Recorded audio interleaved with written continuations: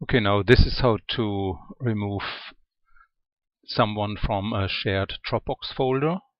So first you go to your uh, Dropbox icon in the system area of Windows down here and you just click, left click on that icon and it opens this menu and then you click on opendropbox.com and it open in op and opens uh, a browser window you see all your Dropbox folder as well, but now on on the internet, basically the on online part. And then you click on that folder. In in your case, it would be child protection or whatever it's called. Just click on the folder to open it, basically.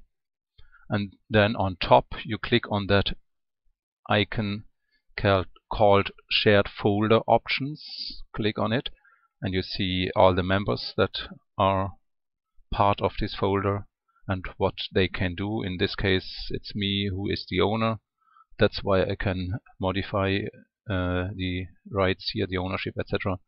And just click on that little drop down drop down menu of that uh, person that you want to remove, and then go down here and click on remove and that's it basically. And then they are gone. They can't uh, access that folder anymore.